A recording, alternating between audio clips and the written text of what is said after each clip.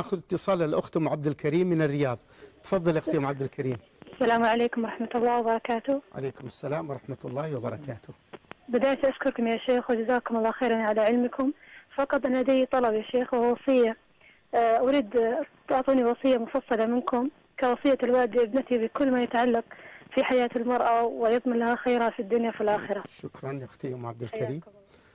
تريد من فضيلتكم توجيه للأخوات المسلمات في حياتهم فضيلة الشيخ. نعم الأخوات المسلمات لهن مكانة عظيمة في الإسلام.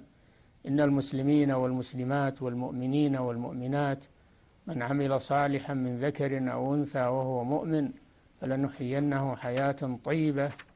فلهن مكانة في المجتمع ومكانة في الدين وهن مكلفات مثل الرجال. في الجملة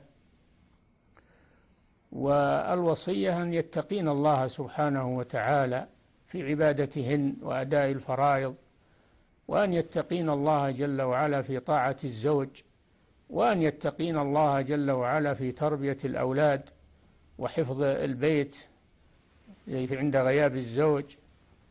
قال صلى الله عليه وسلم والمرأة راعية في بيت زوجها ومسؤولة عن رعيتها. ومن المهم أيضا محافظتها على الستر والعفاف والحياء والحشمة.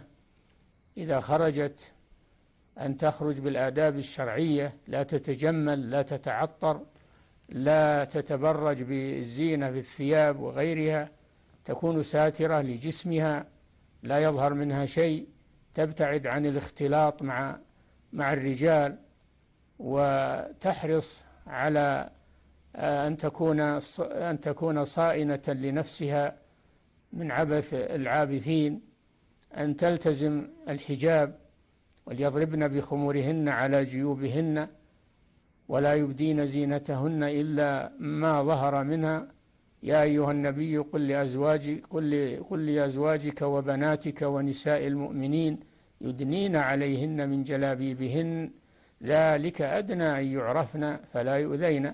ومعنى يدنين من جلابيبهن أي يغطين وجوههن بطرف الجلال الكبير أو الشيلة أو الغطاء على الرأس تضفيه على وجهها. يدنين عليهن من جلابيبهن ذلك أدنى أن يعرفن يعني يعرفن بالعفاف ويعرفن ب يعرفن بالعفة فلا يطمع فيهن الفساق. فدل على أن ترك الحجاب سبب للأذى. إذا لم يروها متحجبة فإنهم يؤذونها بمراودتها وبطلب الفعل ما لا يجوز منها فالحجاب فيه صيانة للمرأة من الأذى من أذى الفساق والمنافقين والذين في قلوبهم مرض. نعم. أحسن الله إليكم.